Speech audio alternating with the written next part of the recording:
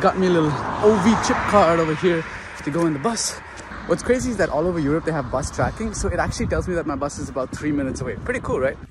So as of January 27th, you don't actually need the OV chip card. You can do this exactly with your credit card as well. Important thing to remember is that they will charge 4 euros when you get on the bus and you must check out as well. And when you get on the train, this blue one charges 4 euros and the yellow one charges 20 euros. And they will charge that and basically refund the fee to you when you check out like this. If you have an insufficient fund like I did over here, it's because you used the wrong one. You need to use the blue one to check out like the blue one to check in. And if you use the yellow one to check in, you need to use the yellow one to check out as well. And uh, yeah, you can top it up this card over here in case you have cash. Well, if you have cash, you'll have to go to the station directly. Otherwise, you can top it up in the machine.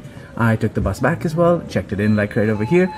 The buses over here are super cool. They even have this USB charging for your phone. And that's to press that red button to stop the bus over here. Don't forget to check out, otherwise you'll get charged the full 4 euros as well. Safe traveling, cheers!